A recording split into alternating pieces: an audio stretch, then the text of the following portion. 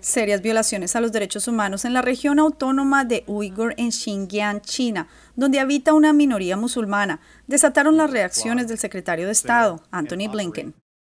Continuaremos trabajando en estrecha colaboración con nuestros socios, la sociedad civil y la comunidad para buscar justicia y rendición de cuentas para las numerosas víctimas y pedir cuentas a China, que libere a los detenidos, rinda cuentas por los desaparecidos y permita a los investigadores acceso total. Torturas, asaltos sexuales y conversiones obligadas en campos de detención son algunos de los abusos detallados en el reporte, que todavía no ha planteado al Consejo de Seguridad una solicitud formal.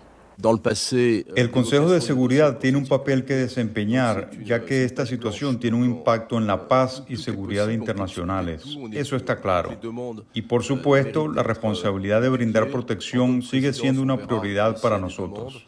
Por su parte, el gobierno chino calificó el informe de falso y lo atribuyó a una campaña de desprestigio politizada.